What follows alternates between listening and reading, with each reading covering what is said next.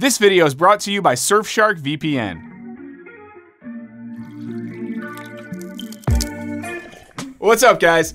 Michael here to talk about the only place where it's acceptable to wear gym shorts and eat pizza for two weeks straight while being guided through the works of Dostoevsky by a PhD in Russian literature. Yeah, college. A key aspect of the American dream. Receiving a college education has long been seen as critical to living a good and prosperous life. But increasingly, higher education comes with crippling debt and fewer job opportunities. Young adults today are better educated than ever and increasingly downwardly mobile. But it wasn't always destined to be this way.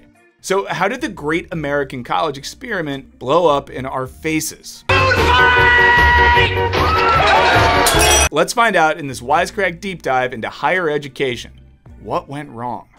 Okay, before we keep going, I want to tell you about this video sponsor, Surfshark VPN. Surfshark VPN keeps your data secure everywhere you go on the internet, thanks to their secure protocols and uncrackable encryption. Now, something that I really like about using Surfshark is that it keeps my location completely private, which is a huge advantage when I'm buying stuff like plane tickets. Because if a website knows where I am, they can gouge prices based on what they think I can afford, and we don't want them to do that, do we? All I have to do is connect my secure Surfshark VPN to other VPNs around the world until I track down the best price. And speaking of the world, these connections also make it easy to watch all the content that hasn't been released in your country. I'm a sucker for a lot of UK shows, so with Surfshark, it's very easy for me to access things that otherwise I wouldn't be able to watch. Now, all of your favorite devices are included with a single subscription, so your laptop, Android, Amazon Fire Stick, PlayStation, and more. Plus, you can still use your favorite apps like Chrome and Firefox.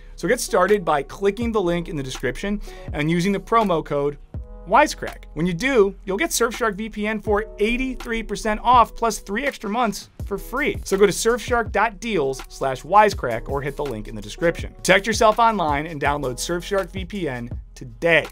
And now, back to the show. So the modern university is a lot like pizza in that it started a long time ago in Italy and then got taken to America, where initially only World War II veterans wanted it, but eventually it became a rite of passage for every American teenager. Okay, let me explain. The first modern university started in 1088 in Bologna. What made it modern is that it was independent of the church and granted degrees. They had six areas of study broken up into pairs of three grammar, rhetoric, and logic, basically the humanities wing, and geometry, music, and astronomy, their version of STEM. Soon after this, in the 12th century, the University of Paris and Oxford were established, and it was off to the races. An important part of early European universities was the recovery of Aristotle, a time during which most of Aristotle's texts were translated into Latin, the standard academic language of the time. This led to the emergence of scholasticism, a school of thought which used Aristotelian categories as a jumping off point for the study of the humanities and the sciences, and which was synthesized with Christian theology by people like Thomas Aquinas. And as European universities expanded, they considered intellectual inquiry a part of fully embracing one's humanity, and even developing one's spiritual self.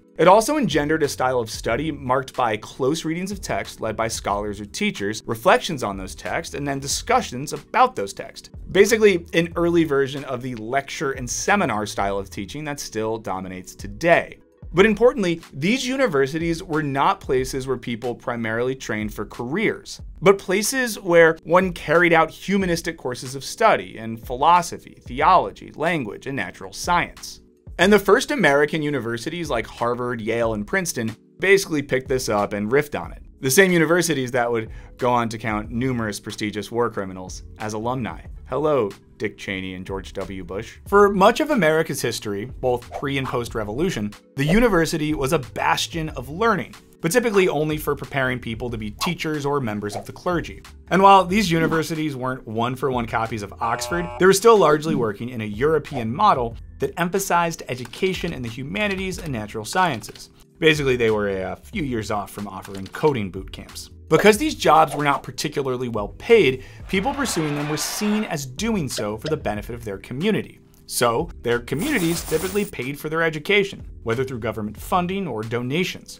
Robert L. Geiger, education historian, explains that, as a result, many early colleges, including Stanford and Baruch University, charged students nothing, Despite that, they were still mostly attended by the wealthy, in part because, as 18th century farm boy, it was hard to convince your dad to let you go off to study Aristotle and Mozart for four years. Over the mid 19th century, colleges proliferated all over the country, usually founded by philanthropic, religious, or special interest groups. Federal incentives to create colleges started in 1862 with the Morrill Land Grant Act, in which states were rewarded for selling Western land if it was used to host college programs in agriculture, mechanical, and military sciences. Federal funding continued to pour into higher education for decades. At the same time, changes caused by the Industrial Revolution created a need for highly trained managers and other professionals. This shifted college from something that facilitated intellectual exploration and training for service oriented vocations into a place that would help you achieve professional success. And this is about where things still stood in the waning years of World War II. College was basically the exclusive luxury of the wealthy and elite, and in 1940, just 15% of people aged 18 to 21 were enrolled. But that was all about to change and mostly to avoid pissing off veterans, as chronicled by journalist Will Bunch in his book, After the Ivory Tower Falls. See, after World War I, veterans, frustrated at the minimal benefits offered to them, had lobbied for more government support. In the aftermath of the Great Depression, they took their grievances to the street in a protest march on Washington that turned bloody after police responded. Shocking, we know. Not eager to run this one back, and approaching his fourth presidential election, Franklin Roosevelt wanted to revive the excitement of the New Deal. Thing is, most of his ideas relied on higher taxes on the wealthy, which weren't about to make it through Congress.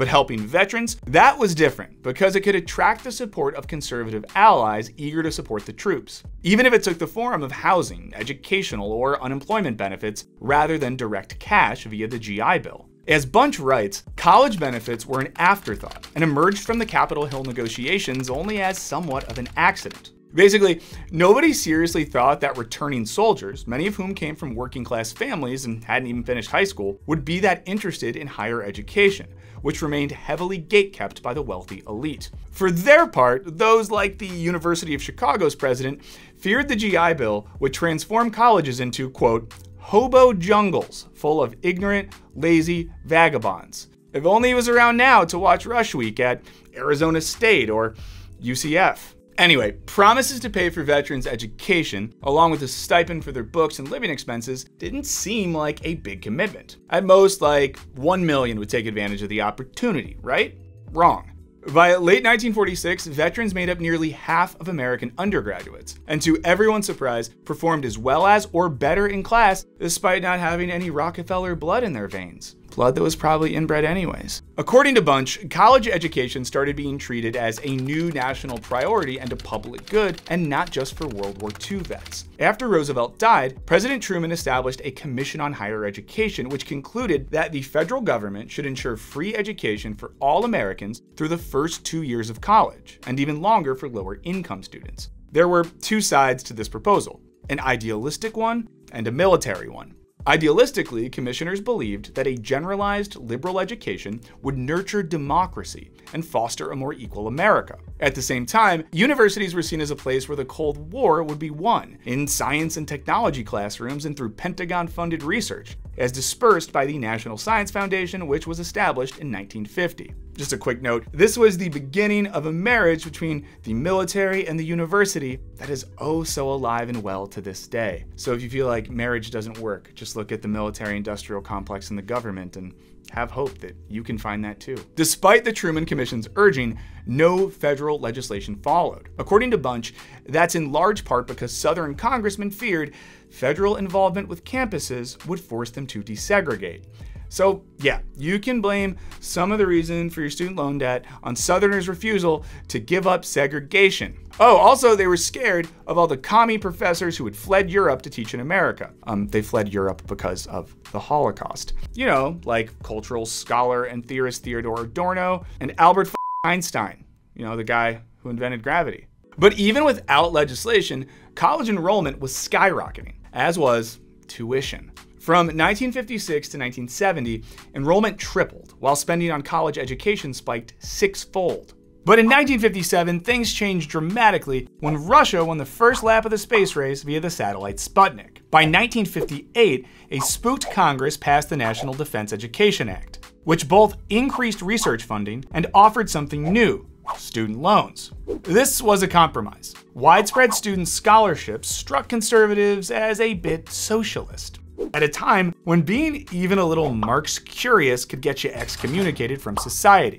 So student loans put more of the onus on students' future selves to fund their own education because education was an investment, not a right. The idea of student loans came out of free market economist Milton Friedman's human capital theory, which saw the human being as a unit of investment. Investing in college students was seen as a smart thing to do. The payoff was a well educated adult with a high chance of landing a good job.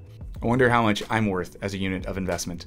I don't think much. Notably, the establishment of loans expressed a growing strain of thought that education was not going to be, as FDR and the Truman Commission argued, a matter of public good, but of personal responsibility. According to Bunch, the late 50s and early 60s were the golden age of American college, a time when higher education seemed to deliver on its offer of upward mobility, fostering democracy and civil engagement, and furthering advancements in science and technology.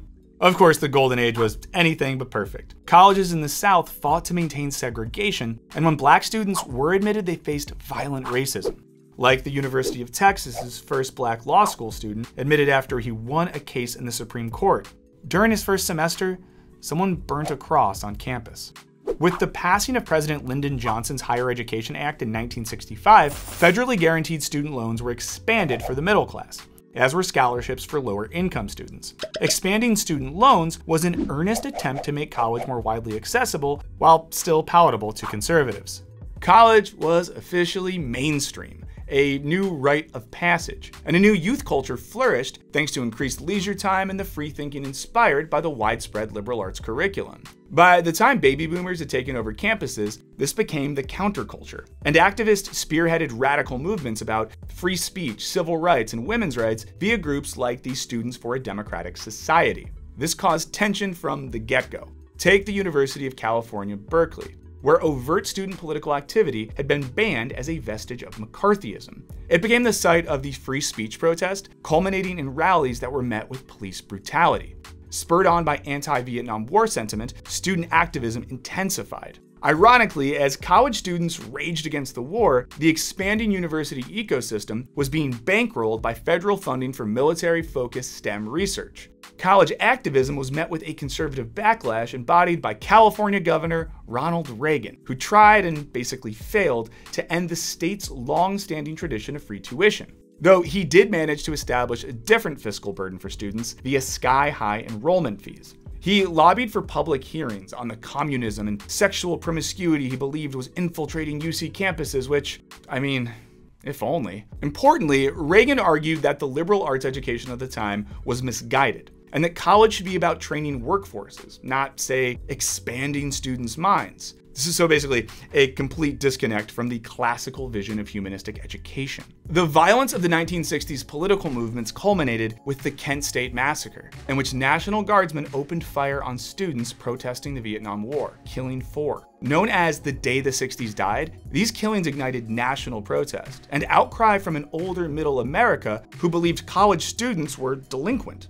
In a Gallup poll from the time, a whopping 58% of Americans blamed the Kent State students for their own deaths, while just 11% blamed the National Guard, who actually fired the bullets out of their guns that they pointed at students while their fingers were on the triggers of the guns with the bullets that were pointed at the students. But but what do, what do I know? I've never been in the National Guard. Over the course of the early 1970s, the conservative backlash to the counterculture born on college campuses, which led to the election of Richard Nixon, would, according to Bunch, change the American way of college and crush the egalitarian dreams of the post war planners.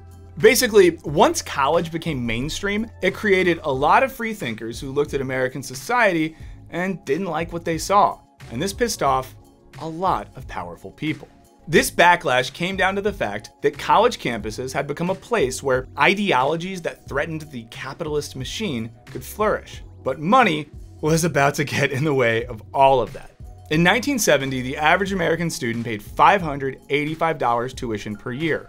Again, they paid for a whole year of college $585. That's crazy. Either I literally think there's textbooks that cost almost that much now. In the comments, let us know what your most expensive textbook ever was. That was about to start changing and fast. But the reason was counterintuitive. Let's flash back a second to Johnson's creation of a federally guaranteed student loan plan in 1965. Importantly, Johnson had a big problem. His Great Society movement, which included Medicare, Medicaid, and aid for elementary and secondary education, had drastically increased government spending and thus the federal deficit. A big deficit hurts the government's ability to borrow money at low interest rates. And because of arcane budget rules, his student loan proposal posed a big problem. As Wall Street Journal reporter Josh Mitchell explains, if the government originated 1 billion in student loans, spending increased by 1 billion. This was a mirage, since the spike would be temporary. Years later, students' monthly payments would reduce the resulting deficit. But what mattered at the time was the immediate budgetary hit. However, if someone else lent money to the students, it was basically off the books as far as the Treasury was concerned. So, how do you make a ton of money available for students to borrow? you turn to the banks. There was precedent for this. After the Great Depression, Congress had created the Federal Housing Administration to ensure or guarantee some mortgages made by lenders. That eliminated risk for banks lending to potential homebuyers. The federal government stepped in to guarantee all student loans and thus limit risks for investors. They set interest rates at 6%. It only took a few months for Johnson's plan to encounter some trouble, namely inflation. Basically, this made issuing loans and thus earning interest less profitable. By 1969, Congress had to raise interest rates to 10% to keep banks willing to participate. At the same time, colleges feared what would happen as the baby boomers started aging out of higher ed, leaving schools with a smaller pool of customers. Because they're customers at the school. It's a service and you're just a customer. As Mitchell writes, banks needed more money. Colleges needed more money. Students needed more money. The government's foray into student lending was already a mess, producing unintended consequences. So Johnson started a panel, headed by bureaucrat Alice Rivlin, to figure out what to do. There were two options lend to colleges directly or keep lending to students. The panel decided that lending to students empowered them as consumers and encouraged colleges to compete, thus hypothetically holding tuition in check. Everybody wins, or something. But as banks started forcing interest rates up, Rivlin's panel proposed a new plan, creating a nonprofit, federally overseen agency that could loan to banks who could then loan to students. Following this plan in 1972, Congress created the Student Loan Marketing Association, aka Sallie Mae. They empowered Sallie Mae to borrow money almost as cheaply as the federal government and provided guaranteed loans to banks who now assumed no risk. Sallie Mae also bought back loans previously paid out by banks, the system was crazy convoluted. As Mitchell writes, Sallie Mae was part of a circuitous route between lender and borrower. To recap, the Treasury Department gave money to the Federal Financing Bank, which lent to Sallie Mae, which provided cash to banks, which lent to students who paid schools. If this sounds like gobbledygook, rest assured, not even the people making these laws totally understood what was going on. As Senator Jennings Randolph said in a 1981 hearing, if most members of Congress were asked what they thought of Sallie Mae, they would respond with the question, Who is she? The TLDR is that the more money students borrowed, the more money Sallie Mae made and it would become highly profitable, earning huge amounts through fees, interest, and commissions off of billions of dollars of loans. Because of their low borrowing cost, they made a return of 3.5% on student loans. Average returns over the past 50 years haven't exceeded 1.6%. Meanwhile, banks were free to lend money with nary a concern for the borrower's ability to repay because they were assured payment from the federal government. Presented with a wider market of students floating in a sea of loan money, colleges did what any industry would do. They raised prices. Tuition started rising every year, while for profit universities sprang up to capitalize on the new college industrial complex. And it paid off. As Mitchell writes, Sallie Mae's profits rose, defaults too rose, driving up taxpayer costs. The banking industry profited, as did schools. Students and taxpayers incurred all the cost. He calls this the quintessential form of crony capitalism. It privatized profits and socialized losses. That is to say, when things went well, a few people made a bunch of money. When things went badly, the public lost a ton of money. Perhaps unsurprisingly, around the same time, the purpose of college began to conform more to Reagan's vision. Students taking out increasingly substantial loans were less focused on obtaining a generalized liberal arts education and more focused on ensuring they picked a discipline that would get them a well paying job so that they could pay off their loans. Numbers of business majors skyrocketed, and humanities majors plummeted across the board. RIP to Aristotle and Shakespeare. This is reflected in what students said they value about their college education. In 1970, 70% of students called it very important or essential to develop a meaningful philosophy of life in their education. 40% prioritized using it to make more money. By the mid 80s, aka the American Psycho era, these stats had flipped. While the whole rationale for lending to students instead of colleges was to create a more competitive market, the opposite kind of happened. As Mitchell explains, higher tuition made a school more attractive to families, not less. This was later dubbed the Chivas Regal effect for a high end whiskey. College seems to be a good that people are more likely to buy if it's more expensive. As Roger L. Geiger explains, starting in the 80s and 90s, top institutions didn't compete by keeping prices reasonable. Instead, they competed by justifying high prices via their prestige, maintained by marketing, recruitment, and branding. Along with that, a rising phenomenon of luxury perks on campuses would emerge, eventually ranging from glitzy condominium style living to gourmet food to recreational centers with rock climbing walls and lazy rivers. Author and journalist Ron Lieber calls this the beginning of an amenities arms race. See, the university can't stay out of arms races, any type of arms race, it just wants to be involved. But the absolute insanity of the student loan crisis and the number of people profiting off of it was about to go into overdrive. By 1990, Sallie Mae had about $40 billion in assets, among them half of American student debt. But there was more money to be made. Sallie Mae, along with its lobbyist, convinced Congress to let it become a for profit, publicly traded corporation. Remember that it could borrow at insanely low government level rates, and you'll get why investments poured in from around the world. Sallie Mae aggressively expanded, infiltrating every aspect of the student loan industry, stifling competition and offering private loans with interest rates as high as 28%. As of 2007, the top two executives had made more than half a billion dollars. Eventually, its main initial congressional backer, Bill Ford, would describe Sallie Mae point blank as a money laundering operation. Guess they should have given Sally a more Italian sounding last name. It's okay, you're still we're still allowed to make jokes about Italians, so if anyone got offended, you're wrong. I'm allowed to. I have an Italian grandpa, so it's okay. All the while, the cost of college was soaring higher and higher because it could. Sallie Mae used its lobbying power to convince Congress to strip away consumer protections on student loans. Very importantly, this included the rules around student loan bankruptcy. Initially, back in 1976, Congress deemed student loans non dischargeable in the case of bankruptcy, but only for five years. This number was extended to seven and eventually abolished altogether. To this day, student loans are the only kind of loan in American history to be non dischargeable. I declare bankruptcy!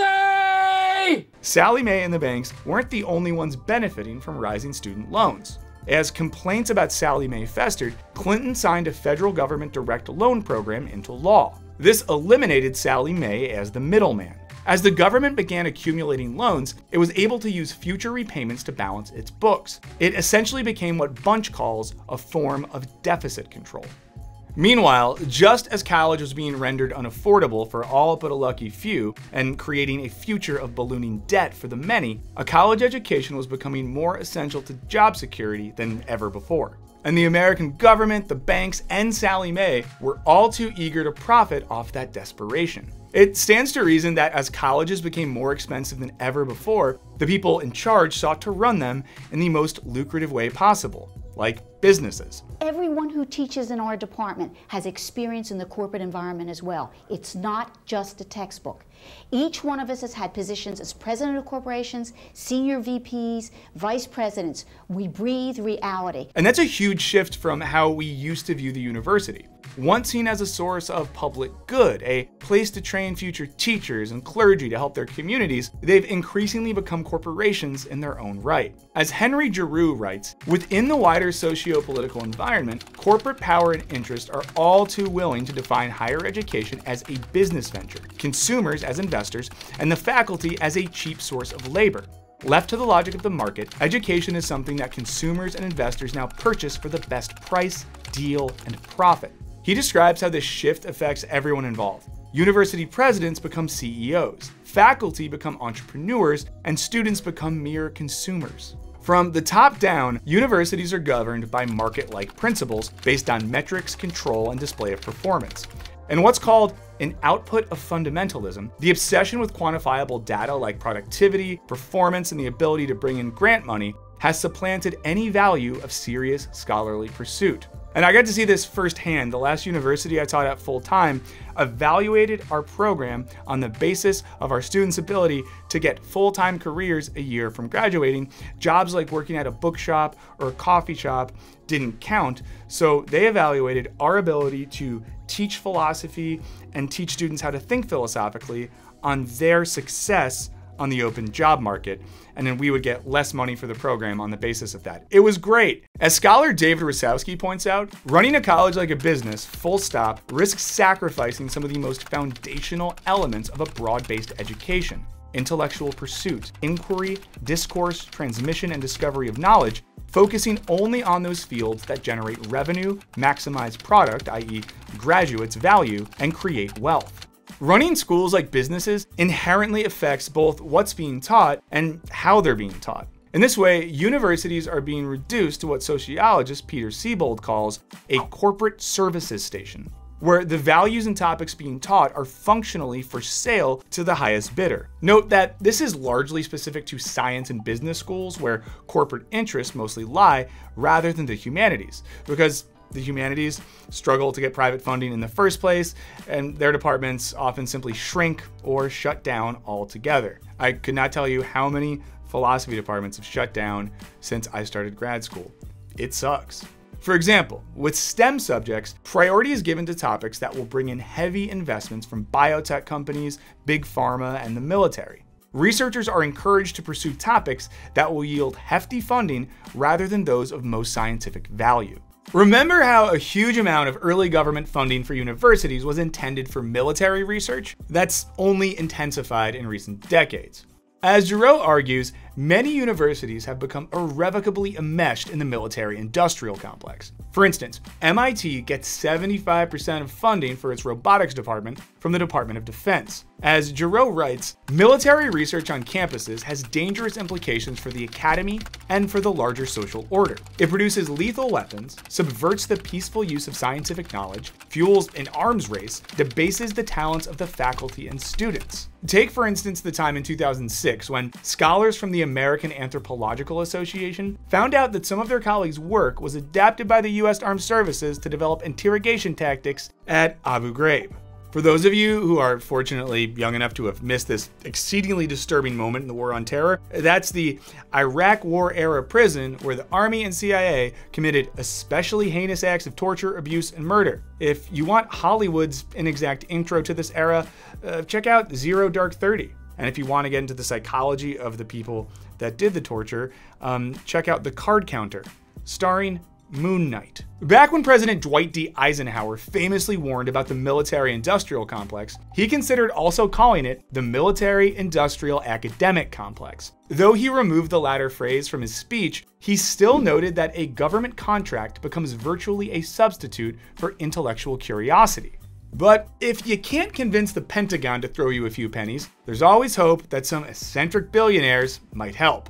Florida State University made an agreement in which influential business magnates, the Koch brothers, pledged $1.5 million in exchange for being allowed to screen and sign off on any economic department faculty hires. Similarly, BB&T Corporation, a financial holdings company, gifted Marshall University's business school $1 million under the stipulation that Ayn Rand's objectivist novel Atlas Shrugged be taught. In the business school, they had to teach Ayn Rand's book in the business school. Arguably, this has consequences. As Giroux writes, increasingly, universities are losing their power not only to produce critical and civically engaged students, but also to offer the type of education that enables them to refute the neoliberal utopian notion that paradise amounts to a world of veracity and avarice without restrictions, governed by a financial elite who exercise authority without accountability or challenge. Once places for collective growth and engagement with big ideas, universities are increasingly becoming places where people go to acquire skills for personal enrichment. Giroux argues that this produces robots, technocrats, and compliant workers. What's more, it refutes the idea of general education as a means of furthering democracy and public engagement. As scholar Stuart J. Murray explains, this logic co ops and eviscerates the language of the common good. Essentially, if college were once about engaging people in their broader communities, increasingly, they're about benefiting the community of one. The laser focus on what the market supposedly wants and what makes for a profitable return on investment in education is only intensified by the for profit university industry. For profit universities have long existed on a small scale. They were among the first to implement correspondence education, the early version of online learning popular in the 1920s, where students were educated by mail. This is one of many tactics they used to appeal to non traditional students, like high school dropouts. Still, they made up a very small segment of the college ecosystem for most of American history. In the early 1970s, just 0.2% of higher education students went to for profit schools.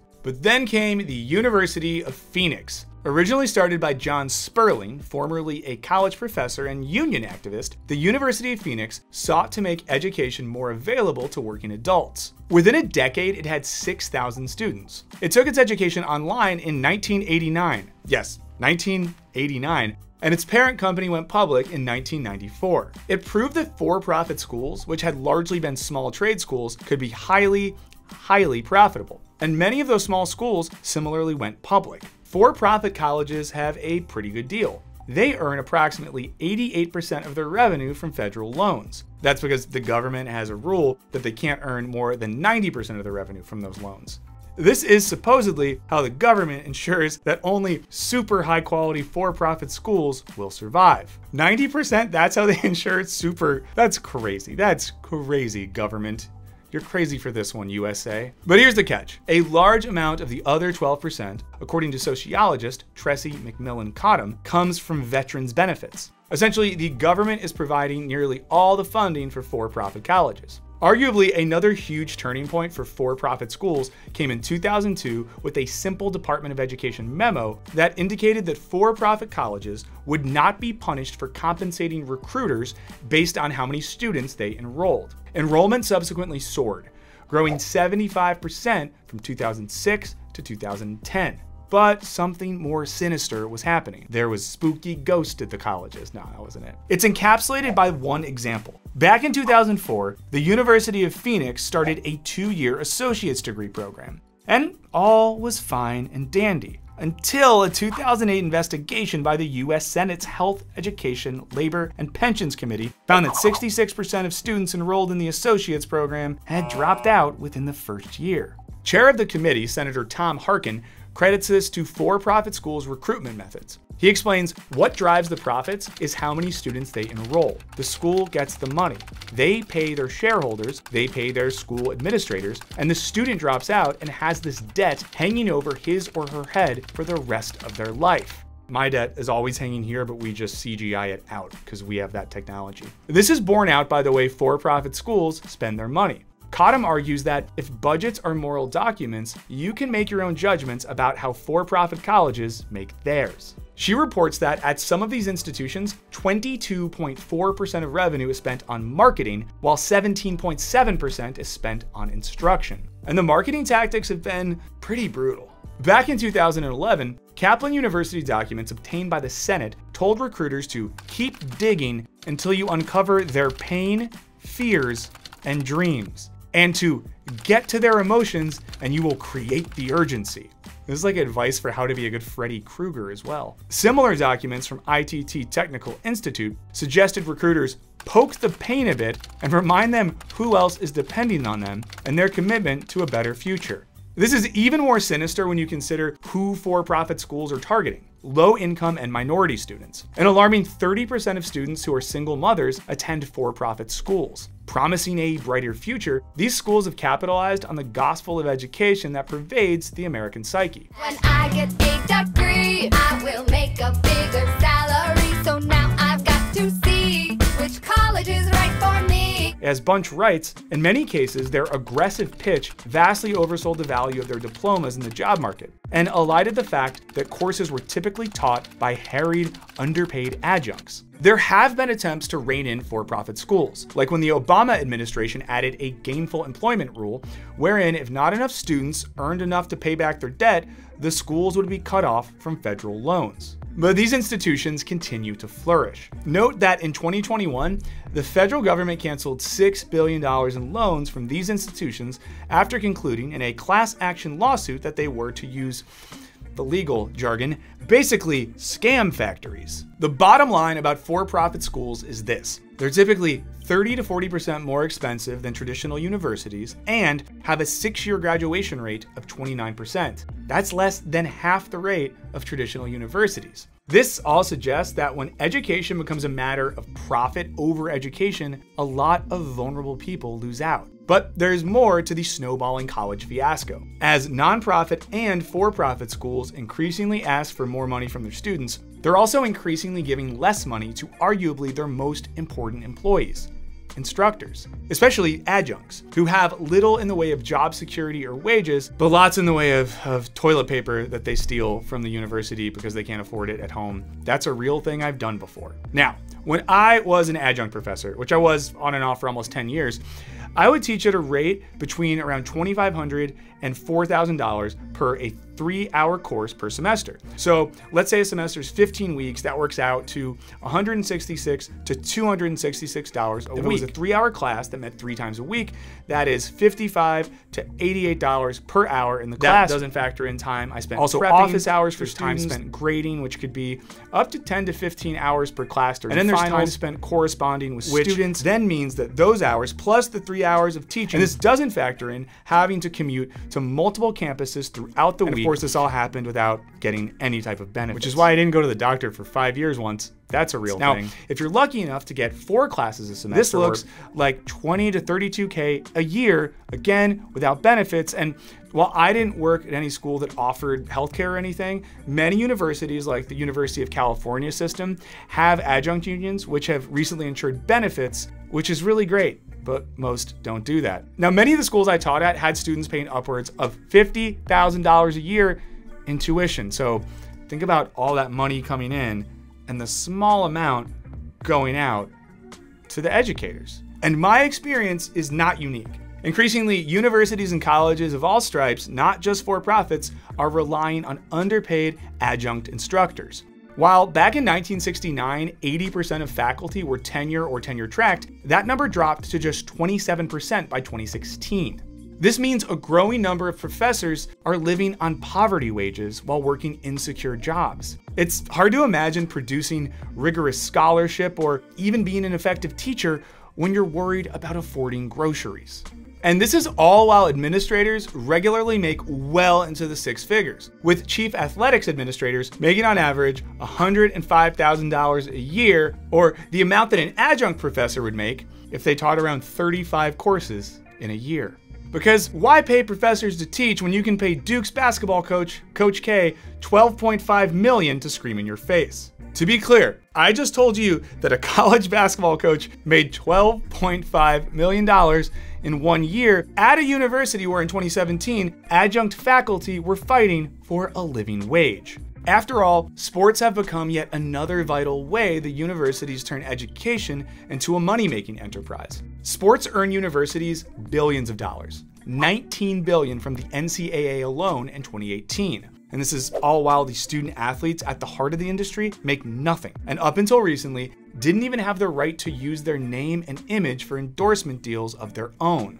As Giroux summarizes, too many universities are now beholden to big business, big sports, and big military contracts. If you were waiting for us to add, and to big students, don't hold your breath. That's no, that's not it. You know that's not it. You've gotten to this point in the video, you know that that's not it. And this all makes it feel like the actual education part of the university is more of an afterthought, or at worst, a necessary evil of the new business forward model of higher education. So, where does that leave us today?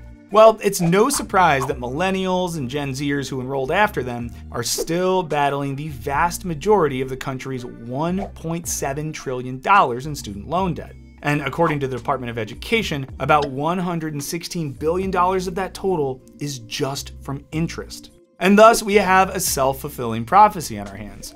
If you don't get a degree in a field that's seen as profitable, you're destined to live on the brink of personal economic disaster. But you're more likely to join the 74% of Gen Z and 68% of millennials who put off major life decisions due to their student debt, like buying a house, having kids, or deciding between the pad thai or the pad see ew. This economic anxiety has a direct influence on what people study. Since the 2008 financial crisis, for example, English departments across the country have lost about 20% of their majors, as students favor STEM fields instead. History department enrollment is down 45%, and I'm pretty sure philosophy departments have about like 18 months left at best. But journalist Adam Kirsch argues that we're missing out when we equate our degree to our career. He writes, much of what students of the humanities learn may not be directly applicable to their lives or careers. Very few of us need to know how to identify a school of painting or interpret a poem. But a humanistic education is supposed to teach us how to read critically and think independently, skills that are crucial to democratic citizenship. But the issue isn't that humanities degrees are suffering because they have poor job prospects, according to Benjamin Schmidt. Instead, students are fleeing humanities and related fields specifically because they think they have poor job prospects. While majors in business and science make a bit more than humanities majors, the difference is way more slight than what we are taught to believe.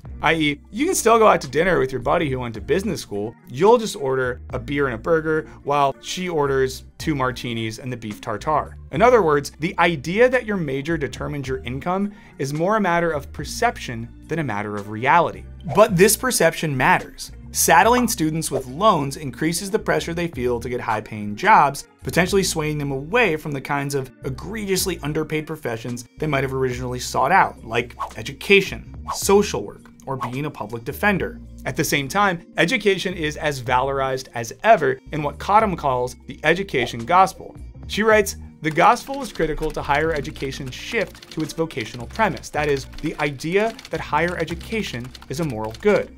She argues that because of this gospel, we increasingly demand more personal sacrifice from those who would pursue higher education. More loans, fewer grants. More choices, fewer practical options. More possibilities, more risk of failing to attain any of them. We justify that demand by pointing to the significant return in higher wages that those with higher education credentials enjoy.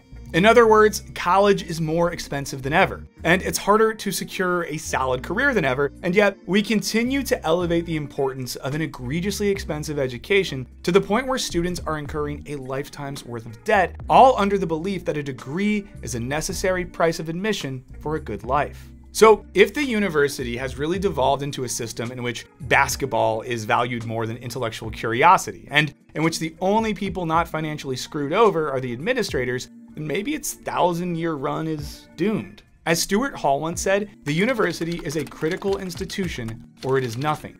And as it seems to become less critical, it also seems to be becoming more, well, nothing. In America, politicians of all stripes have been proposing solutions. But short of some limited student loan forgiveness, which we totally welcome, but frankly find underwhelming, large scale change doesn't seem to be coming anytime soon. And the problem is so large scale and multifaceted that it's hard to even imagine what a quick fix would look like. It's infuriating and arguably specific.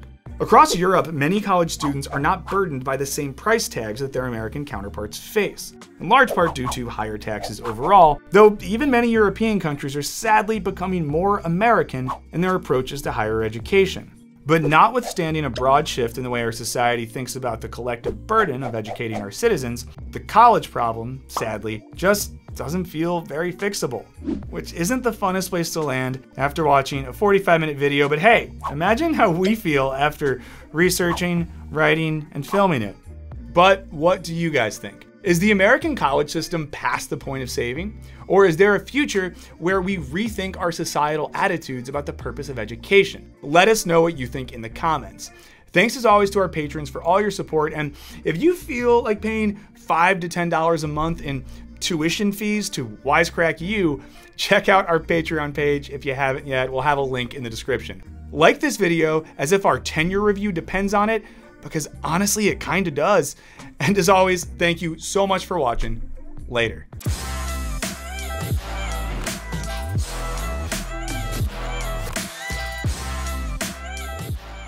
It is weird that like it's an online university. It's not really in a place. They could have chosen any Yeah. you know what I mean? City like, and that's you sound prestigious with Phoenix.